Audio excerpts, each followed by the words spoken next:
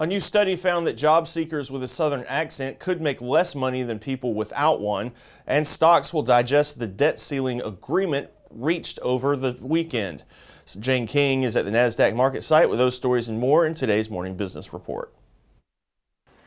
Good morning. Stocks are positive as President Biden and House Majority Leader Kevin McCarthy reached an agreement to raise the debt ceiling and avoid a default over the weekend. The long negotiations between the White House and congressional leaders raised concern among investors that a default on U.S. debt could be possible. Now, Wall Street has already contended with persistent inflation and a banking crisis this year.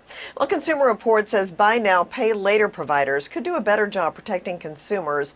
Consumer Reports determined that six of the eight BNPL providers have no notice to users of changes to the terms and conditions of service. Among the providers evaluated, PayPal provided the most comprehensive fraud protection, while Afterpay and Klarna stood out for their commitments to guard against fraud and to alert users of suspicious transactions. Stocks rallied Friday on hopes of a debt ceiling deal. The Nasdaq had its fifth straight week of gains. And restaurants expect strong sales this summer, but consumers aren't so sure. Last year, restaurant sales in May, June, and July were tepid as higher gas prices and concerns about the economy weighed on consumers.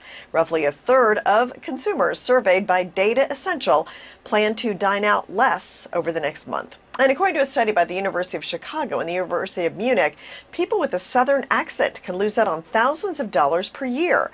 The research revealed that people with strong regional accents face a wage penalty of up to 20% compared with those who speak with a standard accent.